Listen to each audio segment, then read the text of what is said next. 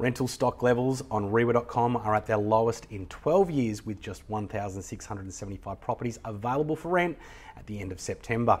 Now, the last time the levels were this low was in November 2010, with 1,537 properties available for rent. Reiwa President Damian Collins said now was a challenging time for tenants, with rental supply struggling to keep up with Perth's growing population. Mr. Collins said Perth's population has increased by 20% since November 2010, which highlights how low the current stock level is. Construction delays and labour shortages means families are renting for longer while they wait for houses to be built, which is contributing to the tight rental market. Mum and dad investors who have rental properties to offer to tenants in WA are critical for ensuring rents remain as affordable as, as possible. And our research shows that 72% of people who own investment properties own only one and are most likely working as school teachers, nurses, or other healthcare professionals.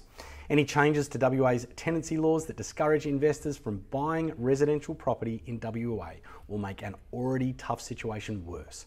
That's why Reiwa is working hard to keep tenancy laws fair and equitable for all parties, and that is all from Reiwa President Damian Collins. Now let's get into the details with this month's Perth market update. So CoreLogic's Perth Home Value Index declined 0.4% in September. However, Perth remains better positioned than other Australian jurisdictions with strong buyer demand and many properties still selling quickly.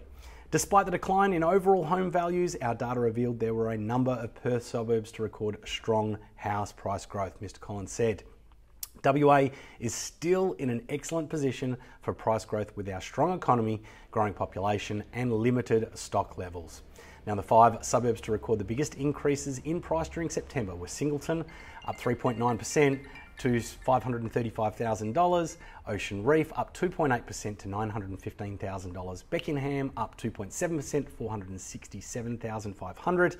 Uh, Bibra Lake up 2.7%, 610,000, and South Perth up 2.5% to 1.55 million dollars. Now, other properties to perform well were Falcon, Safety Bay, Dawesville, Bullsbrook, and Melville. Now, there were 8,040 properties listed for sale on Reiwa.com at the end of September, which is 1.8% lower than August. And Mr. Collins said low availability of properties continues to be a key reason why WA is not seeing significant falls in prices like the eastern states are. Now, the median time to sell a house declined to 15 days in September, which is two days faster than August. And Mr. Collins said, We are still well below a balanced market, which is about 30 to 40 days, with quick selling times and low stock for sale fueling buyer competition. Now, these market conditions still point towards a seller's market.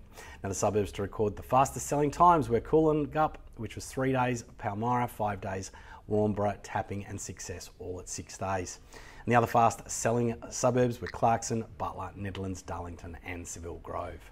Now, Perth's median rent price was $495 per week in September, which is $15 more than August. It's not surprising that rent prices have increased given that listings are at a 12 year low, Mr. Collins said. Unfortunately, rents will continue to rise until we see more rental, properties come onto the market.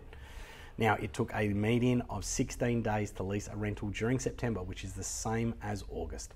And the fastest leasing suburbs were uh, Maddington at seven days, Tapping eight days, and then we had Byford, Chewett Hill, and Piara Waters all at nine days. Now, other suburbs to record fast leasing times were Greenfields, Warnbro, Yanchep, Joondalup, and Gosnells. Now, overall, Mr. Collins said there are clearly challenges in the rental market. However, we have the most affordable housing client, uh, climate, I should say, in the country, an enviable lifestyle, plentiful job opportunities, and a strong economy, making our state a very attractive option for people wishing to move here, which is why our population growth is so high. Now, well, guys, that is it from me today. Now, please remember to like, comment, and share this video. And if it's your first time tuning in, don't forget to follow or subscribe wherever you are seeing this. Have a great week. And remember, it's only one thing in life that makes a difference that's action. Thanks a lot. Bye for now.